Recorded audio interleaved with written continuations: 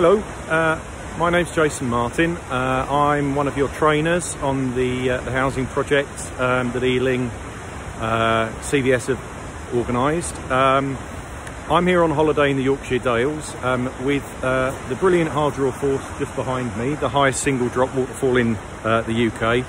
And for fans of films, it's where Kevin Costner swam in the water in the film Robin Hood, Prince of Thieves.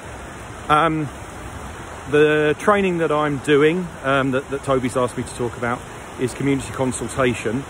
Um, and that's effectively looking at ways of working closely with communities to get ideas and input from them, from local organisation, local partners, local stakeholders, to really try and improve and enhance project ideas that you've got um, I've done a lot of this over the years. My, my first job in the voluntary sector was um, leading a community project uh, or program of 68 projects that the community requested.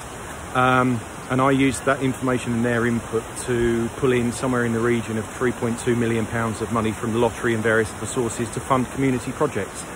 The projects were all successful because the community wanted them, they'd input into the design of them.